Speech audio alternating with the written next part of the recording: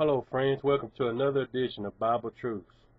And the title of this edition is called Are We Growing Good Fruit? And we'll be reading from Galatians chapter 5, verses 14 through 26. I'll be reading from the New King James Version of the Bible.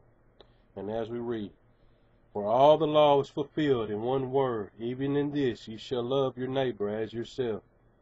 But if you bite and devour one another, beware lest you be consumed by one another.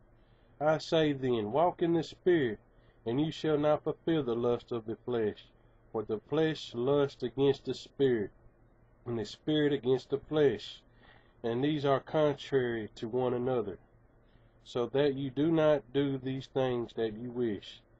But if you are led by the Spirit, you are not under the law. Now the works of the flesh are evident which are adultery, fornication, uncleanness, lewdness, idolatry, sorcery, hatred, contentions, jealousies, outbursts of wrath, selfish ambitions, decisions, heresies, envy, murders, drunkenness, revelries, and the like of which I tell you beforehand, just as I also told you in times past that those who practice such things will not inherit the kingdom of God.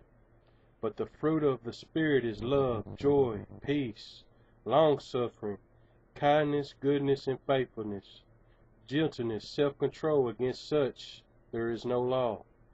And those who are Christ have crucified the flesh with its passions of desires.